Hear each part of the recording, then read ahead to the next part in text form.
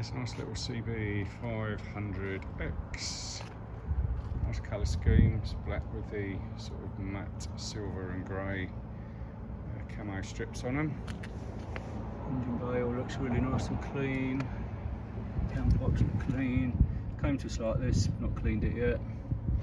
Um, wheels look good, tyre looks good. Got a tiny little hairline crack.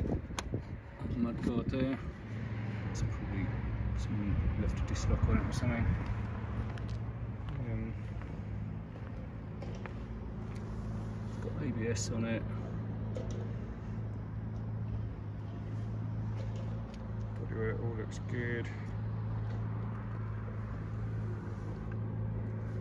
Seat looks good.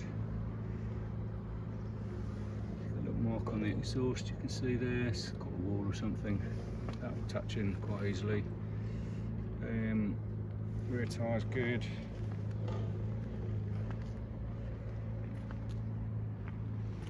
So really just those couple of little marks. Um, done grand total of 2,813 miles, so very low mileage. Very nice bike.